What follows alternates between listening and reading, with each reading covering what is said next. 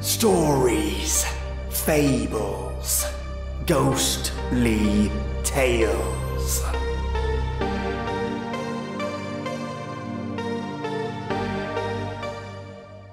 A boy feels lonely and has felt so all of his youth until he meets Amy, whose eyes light up the darkest parts of his life. And Lily Madwhip takes a trip to the hospital for her scheduled MRI, where she meets a person more weasel than man, at least in her eyes. Welcome, listeners, to your dose of unique stories written by unique and creative people just like you. Our first story is a short tale written by Arleaf Shiro Yang, titled Amy Bright Eyes. And our second story is by Lillian Madwhip, titled My Name is Lily Madwhip, and There's Nothing Wrong with My Brain. Right now, I'm drinking a Melbourne black tea, which is a nice mix between Russian caravan and an earthy bitterness of good old black tea. So nice. Pour yourself a lovely tea. Turn the lights off, the sound up, and join me for two unique stories. Amy's Bright Eyes. When I was a kid, I had this friend whose name was Amy.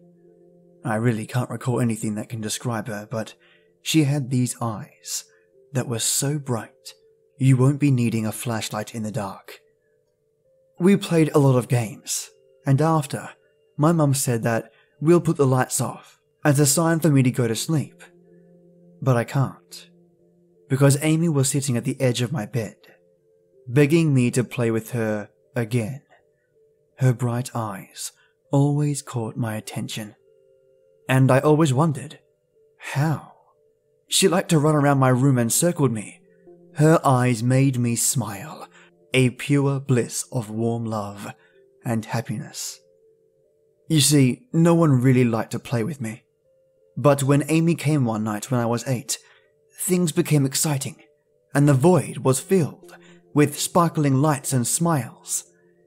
We played quietly for almost two hours, every night for two years. I was in the grocery store with my mum, buying goodies and stuff. The day before my 11th birthday, when Amy whispered something in my ear. She told me that she has a surprise for me, and that the gift will make everything different. That will make me different. The night after she told me this, I was expecting her to come home and play with me again. I waited for two hours, until 11, but no sign of Amy's bright eyes. She didn't even come to my party. I was very disappointed by her back then. My only best friend ignored the happiest day of my life. And I just thought about the gift, that maybe she was busy preparing it. That same night after the celebration, I still waited for her in my room, staring at the edge of my bed. My mum came and told me that I needed to go to sleep because it's already nine. And she put the lights off I heard her, but it was hard to focus, and Mum didn't realize I was sobbing. My back was facing her. I waited till 11. I was about to sleep, but someone touched my shoulders. I tried to look behind me, but she put her hands over half of my face, saying, Guess who came back? I knew it was her. I tried to look back again, but her hands began to claw, began to burrow through my eye sockets. I struggled and tried to get her hands off me, but she was so strong. It was hot as hell. I felt that burning sensation. I cried and cried. But she said that I needed to be quiet, or else she will hurt me. It lasted for almost an eternity, and my body succumbed to pain, and I fell asleep. Everything changed when I woke up. Everything. After that night, she never came back.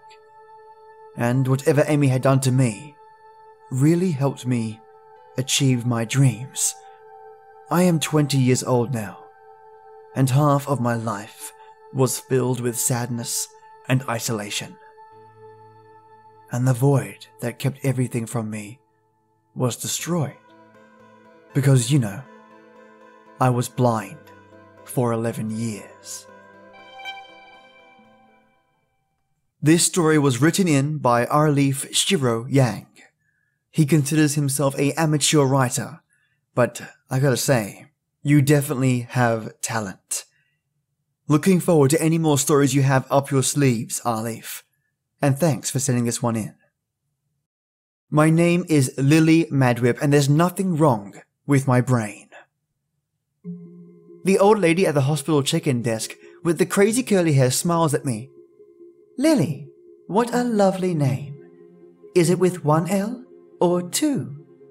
What kind of question is that? If my name had one L, it'd be L I Y. And I don't even know how to pronounce that, unless it was Illy. That just makes me sound like I'm sick all the time. Here comes Illy Madwhip, the sickest girl in fifth grade. That Illy Madwhip makes me puke. I repeat my name for her. She's old, Maybe she doesn't hear too well. Lily. She nods. She's wearing big glasses. Why are her glasses so big? They're like twice the size of her eyes. And she's not even keeping the glasses over them, they're halfway down her nose. That's probably why she has them on a chain. Because they keep sliding down her nose and falling off. Can she even see? Maybe her vision is so bad she doesn't notice she's not seeing through her glasses. What good are they then? I hope I never need glasses. I'd probably lose them all the time. Yes, dear, I heard you. Do you spell it with one L or two? She says. Why does she keep asking me this? Two, of course. I watch her spell my name with three L's. Thankfully, Mum gets off the phone with her office and takes over. My daughter's name is Lillian Madwhip. She's scheduled for an MRI. I walk away to look at the other people in the waiting room. A blonde lady and her son are sitting by the automatic doors that go outside. The boy has a bandage over his right eye. Pascal would be able to tell me why, but Pascal isn't here. I know what's going to happen to the boy though.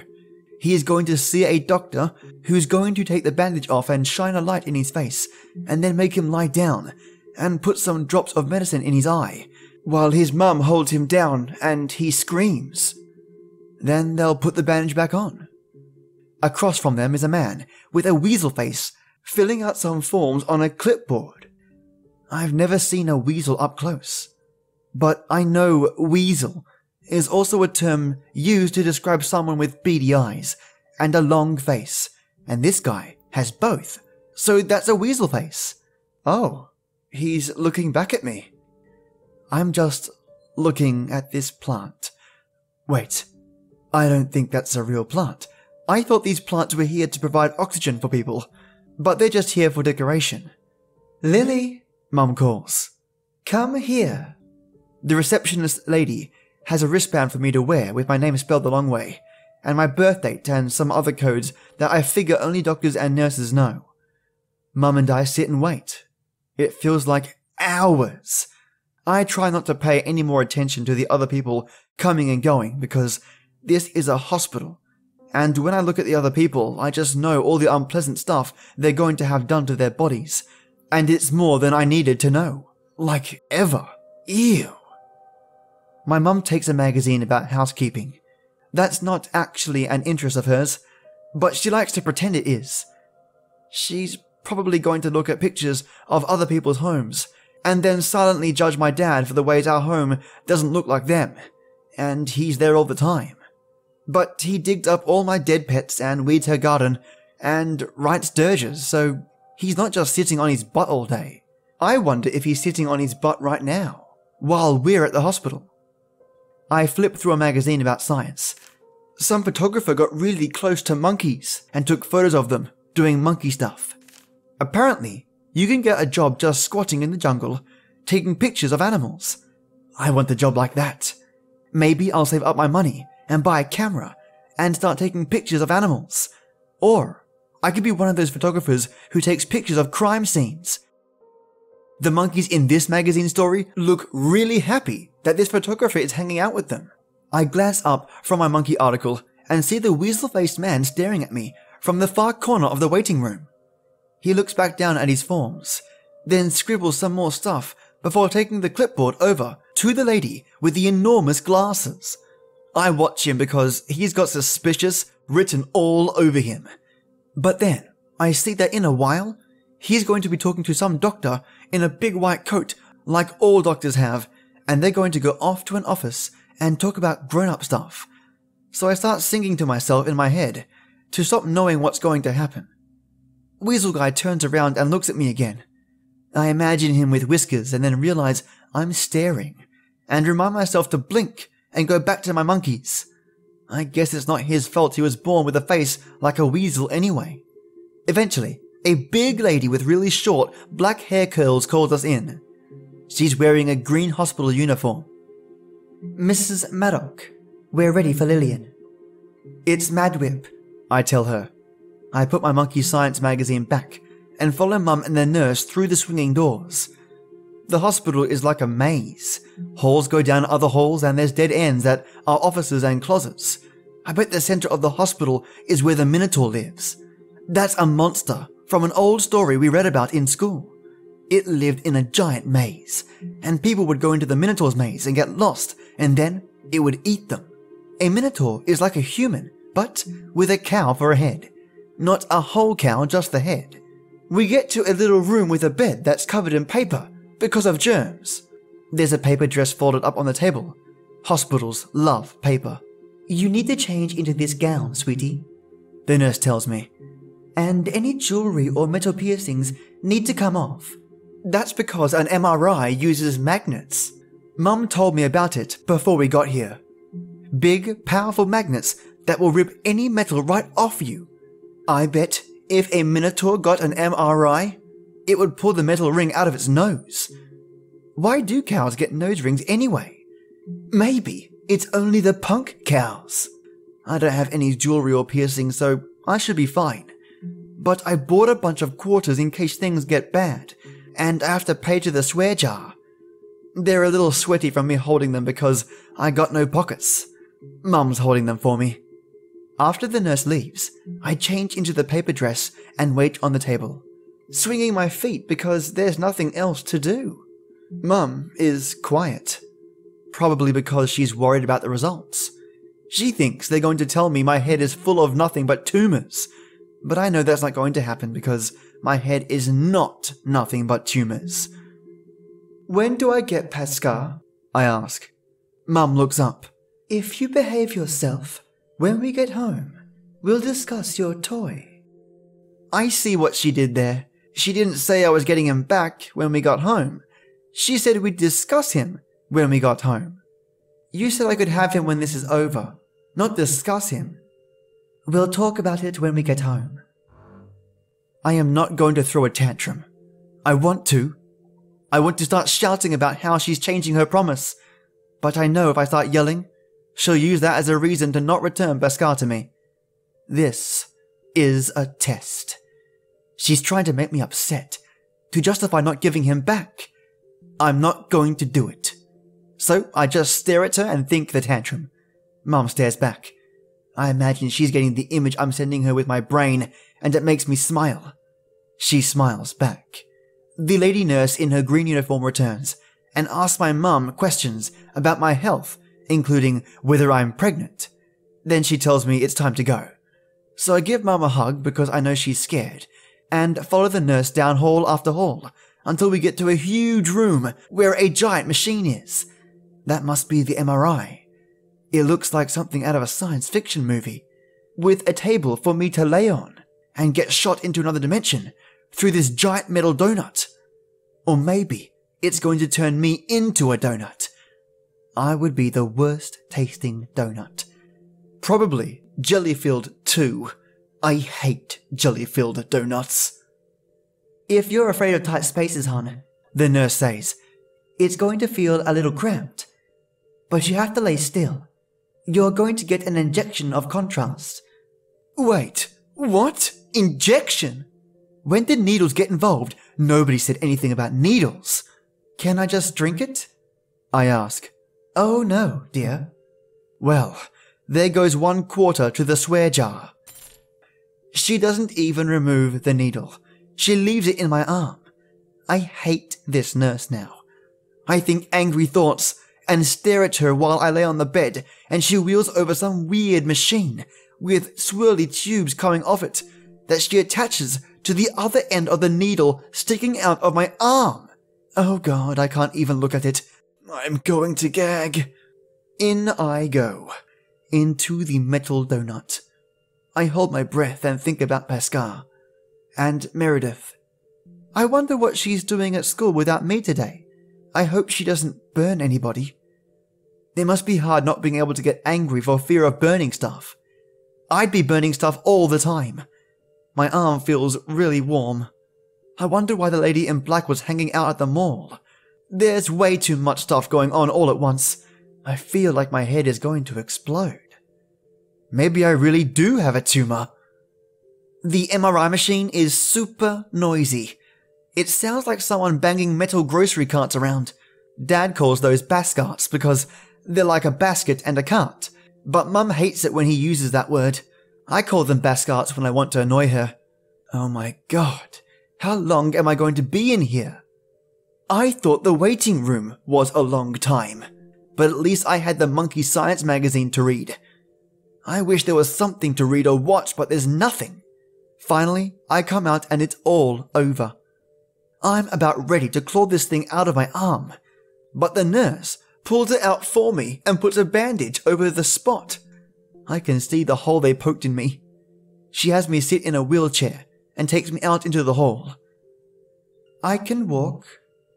Just relax, she says, and then stops, parks my chair off to the side, and walks off into what I think is one of the dead end office rooms. Why did she leave me here instead of taking me back to the room where my clothes are? She didn't even tell me if she was coming back. Am I supposed to do something? I don't even know where I am right now. I feel kinda lightheaded, too. Oh no. They found tumors, didn't they? And what are we doing here? Comes a man's voice from behind. I turn my head to see who it is. It's the weasel faced man from the waiting room. He's looking at me and smiling. I don't know him, so I don't say anything. I blink so he doesn't think I'm staring, and then look back to where the lady nurse disappeared.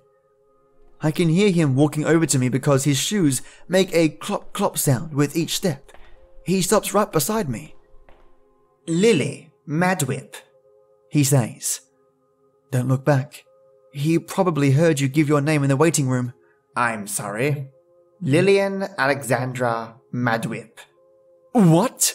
Oh no. Oh no, he knows my full name. No, that doesn't really give him power over me, that's just a thing I thought about. But how does he know my middle name? Maybe it was written down on one of the forms my mum filled out? I can feel him looking down at me.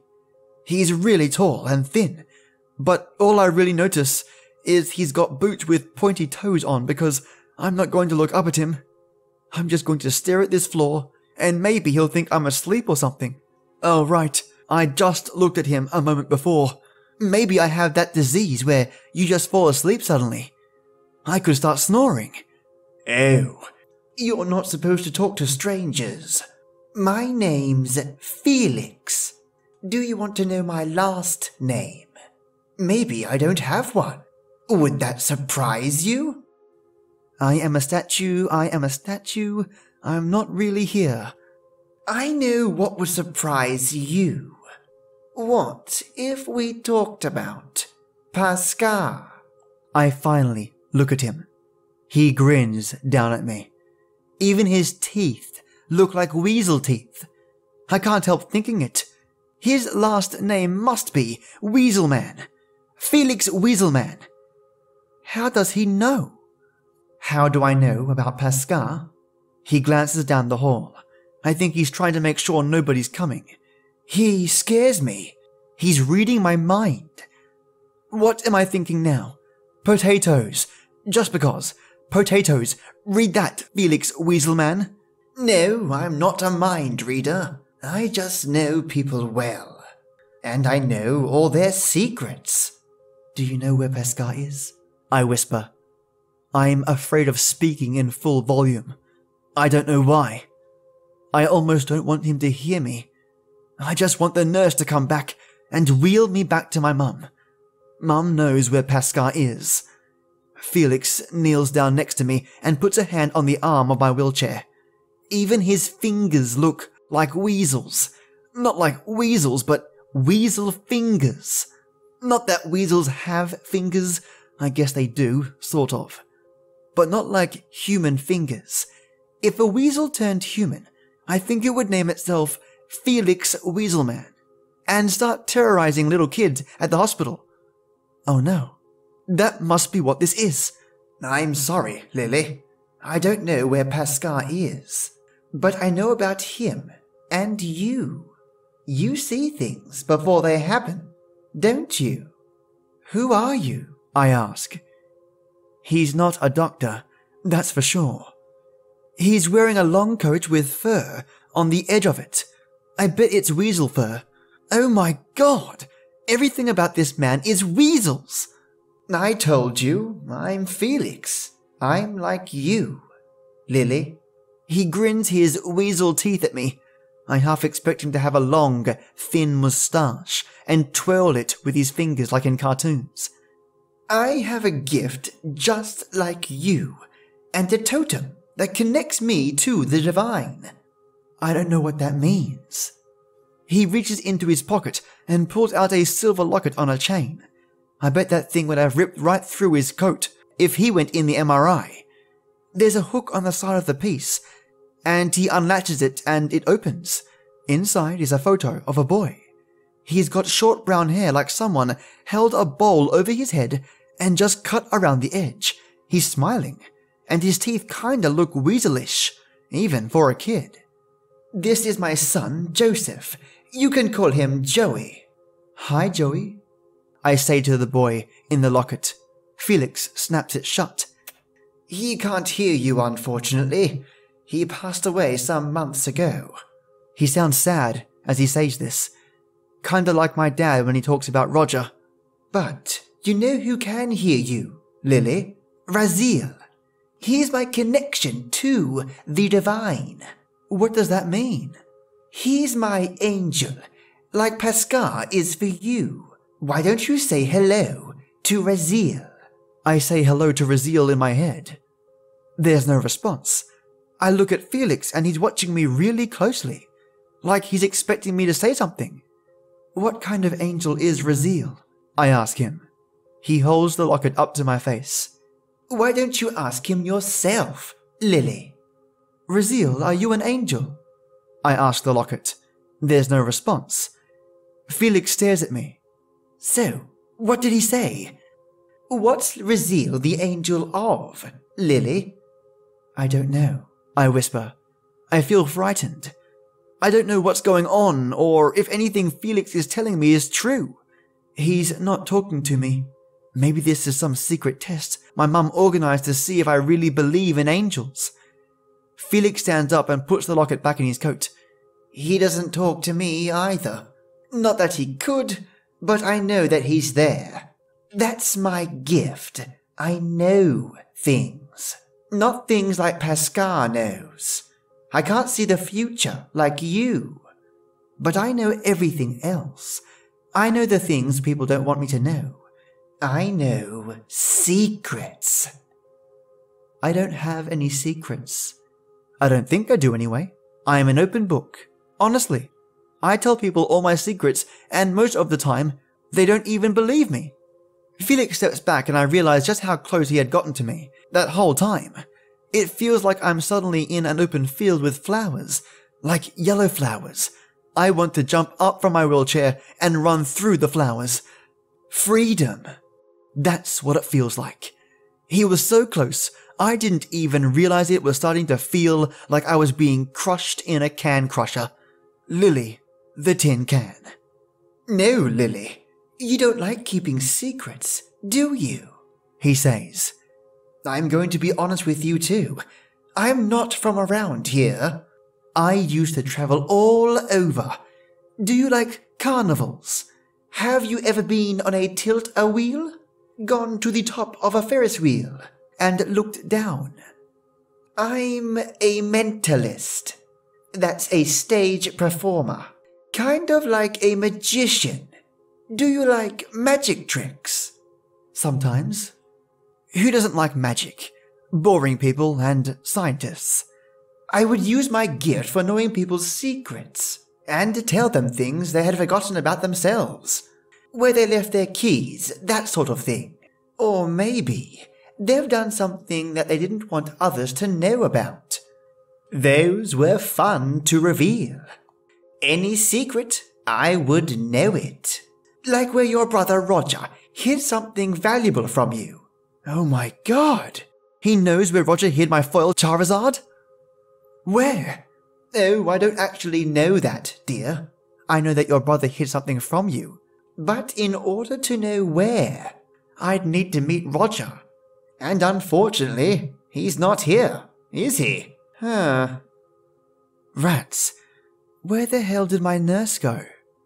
Anyway, Felix continues, Joey, my son, was an assistant in the show.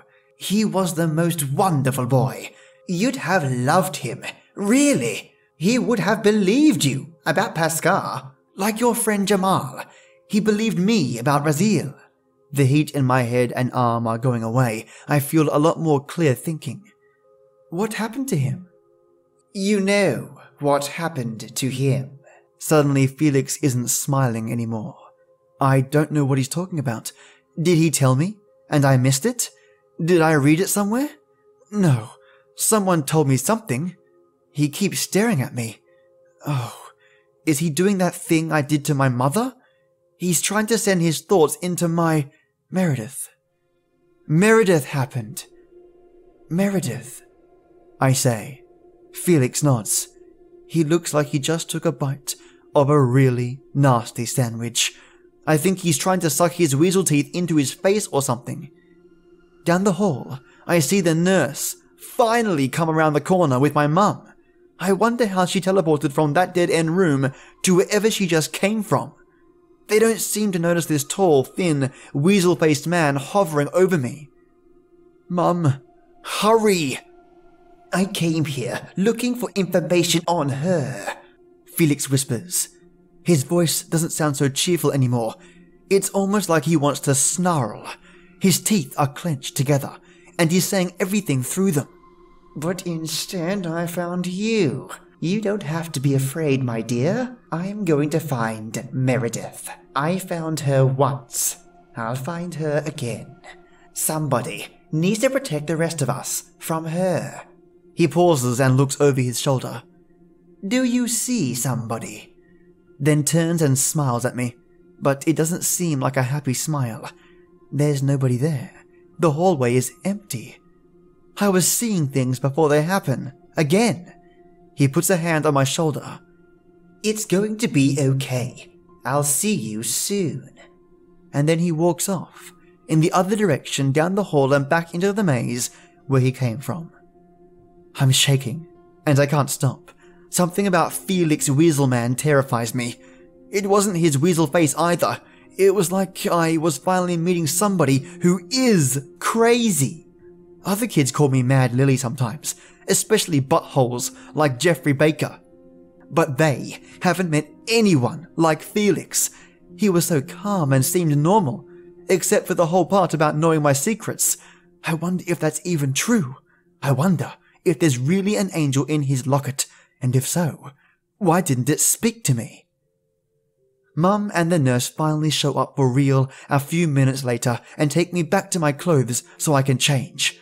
I do it as fast as I can so we can get out of here. Mum had put my quarters in her purse. She gave them to me. I tell her she's going to need to keep a couple. In the car, she asks me how I'm feeling, if my vision is fuzzy or anything. I tell her I'm fine. I don't tell her about Felix. I don't tell her about Raziel. and I definitely don't tell her about Meredith. I don't know what I can tell her anymore. I need to think about things on my own. What I really need is to talk to Pascal. And I know if I start bringing this stuff up with her, I might not get him back. I just hope that weasel-faced guy Felix doesn't go to my school today. At home, Dad is in his workroom. He was probably writing a dirge. He does that. Mum tells me to sit at the dining room table and wait. I wonder what we're having for dinner. Probably something that's going to make me want to vomit. I wonder if I can convince them to order pizza if I tell them that the medicine they injected me with made me feel funny. Mum comes back with Dad and, Pascal! Pascal, where were you? Pascal tells me he's sorry for the things he knows I've had to deal with alone. He says that sometimes we face things alone because we have to, in order to become stronger. He says that, you know, I feel like I'm getting a lecture from my parents. Oh, I am. They're talking too, but I'm not even listening to that because I'm too busy being giddy to see Pascal again. Do you understand? Dad asks me. I don't. Yes, I tell him. Dad hands me Pascal and I hug him to my chest. We have a lot to talk about. A big thank you for both writers for today's stories, and I'm looking forward to more stories from both of them. What was your interpretation of the first story? What did you like about it? Let me know in the comments below, and I'm sure the author will be pleased to hear what you have to say. And Felix, well, he's something else, isn't he? I have a theory. Sure, there are gifted people that amplify abilities. In Felix's case, could one such gifted person have the power to dampen another gifted person? Throwing out there hook, line, and sinker, what do you all think? Let me know. For my podcast listeners out there who are urgent to let me know, shoot me an email at storiesfablesghostlytales at gmail.com. And for my YouTubians, if that's even a word, leave a comment below. If you have a couple of seconds to support the podcast, simply share it with a friend. iTunes reviews are awesome, and sharing with someone you care about is also another way to support the podcast. By the way, I haven't forgotten about shoutouts, so keep an ear out for those. This Wednesday, I'm going to jump onto some creepy pasta, I think, but hand-picked, of course, to shake things up in a interesting way. So, my lovely listeners, write like there's no tomorrow. Listen like you've just begun to hear, and immerse yourself in the stories from other worlds. And as always, till next time.